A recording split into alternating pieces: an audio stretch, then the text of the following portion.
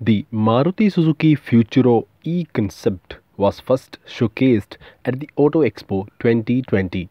Rumors suggest that Maruti will be unveiling the production spec version of this SUV coupe concept at the Auto Expo 2023. Based on the Baleno hatchback, the YTB crossover is expected to be one of Maruti's biggest launches in next year.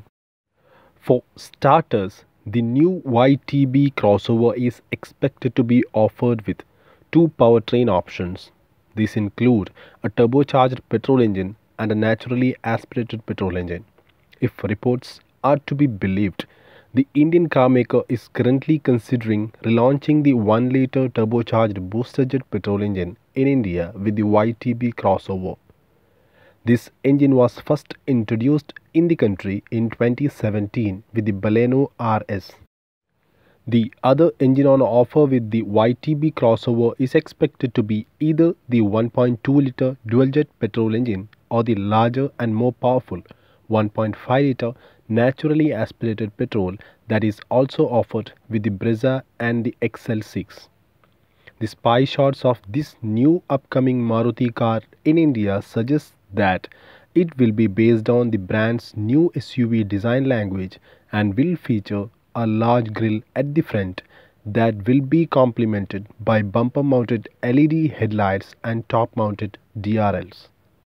The crossover coupe silhouette is clearly visible from the sides and Maruti is expected to offer this car with dual cut alloy wheels and prominent body cladding all around. The rear will be rather subtle will likely boast a prominent chrome element in the center and LED taillights on either side. Inside, the YTB is likely to be offered with a refreshed dashboard layout and an extensive feature list including features like a large sunroof, wireless mobile charging pad, a large touchscreen infotainment system and an automatic climate control console.